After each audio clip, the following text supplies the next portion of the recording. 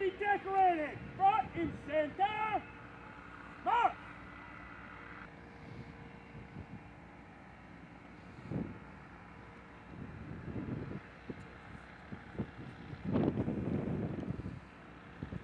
The President of the United States takes pleasure in presenting the Bronze Star Medal to Master Sergeant Kevin W. Haunschild, Marine Air Traffic Control Mobile Team Leader with Marine Medium Tilt Rotor Squadron 162 Reinforced 24th Marine Expeditionary Unit in support of Operation Freedom's Sentinel from 15 August 2021 to 17 August 2021. On 15 August 2021, the situation at Hamid Karzai International Airport deteriorated, and contracted air traffic controllers repositioned to coalition lines in the north side of the airfield amidst a disorganized period of uncontrolled departures.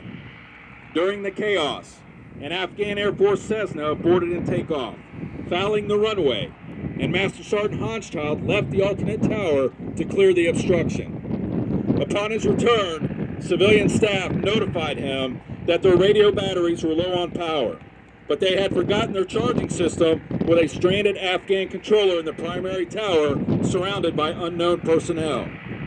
Master Sergeant Haunschild voluntarily obtained transportation, crossed the flight line with a team, and extracted the Afghan controller and radio equipment. While driving back to coalition lines, hostile small arms fire originating outside the Abbey Gate struck his vehicle. His bold action singularly enabled the Joint Task Force to build the combat power required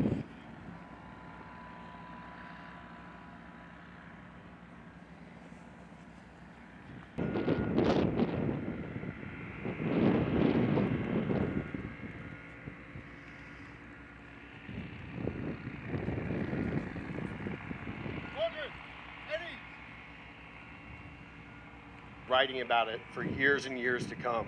Uh, and this recognition is extremely important for somebody who made such a critical impact uh, in that moment. Not only just world history, but Marine Corps after actions, DoD, lessons learned, things we're going to extract from this evacuation uh, are going to support operations and make us successful for the future uh, in events that we run into.